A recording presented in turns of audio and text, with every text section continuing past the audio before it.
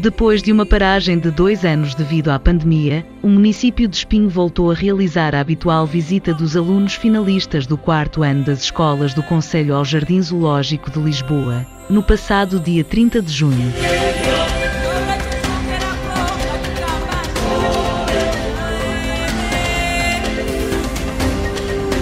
É uma iniciativa que envolveu todos os alunos do quarto ano das escolas públicas do Conselho, professores, funcionários do município, bombeiros do Conselho, CAP, Câmara Municipal de Espinho e, ainda, presidentes das juntas de freguesia do Conselho.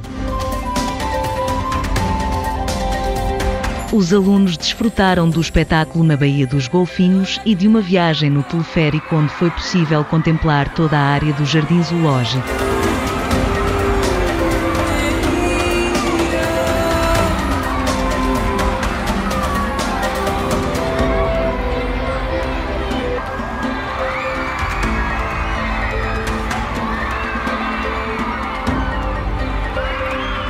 O município, consciente da importância de fomentar novas experiências às gerações vindouras, proporcionou um dia memorável para todos os 235 alunos presentes.